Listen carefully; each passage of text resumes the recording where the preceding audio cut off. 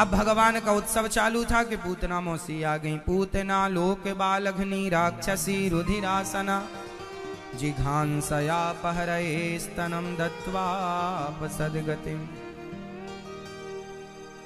पूतना लोक बालघनी पूतना छोटे छोटे बच्चों को मार मार करके खा जाती थी।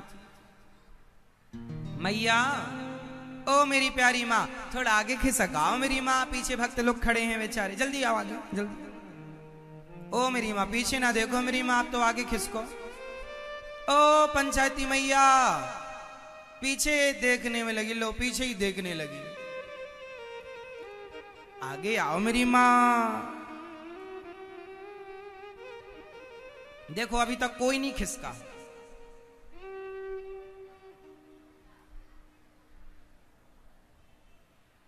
तभी तो बहू तभी तो सास कहती है, मेरी बहू सुनती नहीं। हाँ, कोई सुनता ही नहीं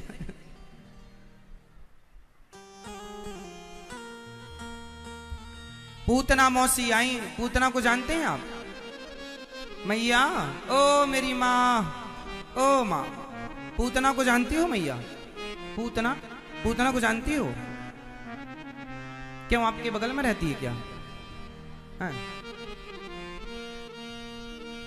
पड़ोस में रहती थी? कंस की कंस की बहन नहीं थी वो? कंस के मंत्री, कंस के मंत्री मंत्री, मैं एक मंत्री पद पर थी, पूतना। बकासुर की बहन थी, बकी। पूतना, लोक बालघनी, राक्षसी, रुधिरासना। राक्षसी थी। क्या पीती थी पूतना? खून पीती थी। किसका?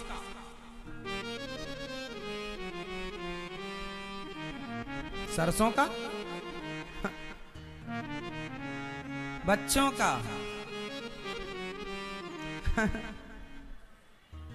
बच्चों का खून पी जाती थी पूतना। बड़ी दुष्ट थी। ऐसी पूतना मौसी आई, भगवान को मार अच्छा पूतना भगवान को मारने जब आई तो अपने स्तनों में क्या भर के लाई थी? जहर भर कर लाई के पिलाऊँगी और कन्हैया मर जाएँगे। अब पूतना मौसी है पर पूतना बड़ी सज धज के आई है। थी तो बड़ी राक्षसी, बड़ी भयंकर दिखती थी राक्षसी थी पर बड़ी सुंदर बन के आई है सज धज करके। जैसे आजकल शादी में ना हमारी माता कैसे जाती हैं?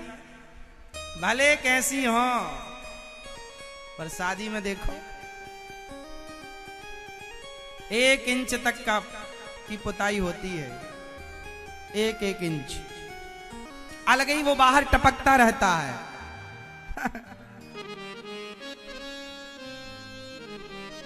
जैसे घर में सीलन आ जाए ना तो वो नहीं निकल जाती पपड़ी की पपड़ी पूरी। ऐसी पपड़ी की पपड़ी तुम्हारी निकलती रहती है। क्यों सही है? हमारी माताएँ ऐसे पोतती हैं ना शादी ब्याह में मेकअप इतनी मोटी परत और लाल पीली आँखें अलग। आदमी डर जाए। अच्छा हमारी माता इतना पोत लेती हैं, मैया सही बताएँ, इतना भी अच्छा नहीं लगता। आपको लगता अच्छा लगता? है हर चीज़ की ना एक मात्रा होती है। दाल में आप नमक कितना डाल सकते हैं? स्वाद, यदि स्वाद से ज़्यादा है तो भी नमक बुरा है। और स्वाद से कम है, नमक कम डाला तो भी बुरा है। मतलब एक उचित मात्रा होती है हर चीज़ की एक मात्रा है। सब चीज़ की एक मात्रा है। आप खा भी उतना ही सकते हैं, एक मात्रा है। ज़रूरत से ज़्यादा खा लेंगे, आपका पेट बिगड़ जाएगा, आपको लेने के देने पड़ जाएँगे। मतलब हर चीज़ एक मात्रा से होती है ना मेरी माँ? इसलिए ठीक है, उतना जितना ज़रूरी है, अधिक नहीं।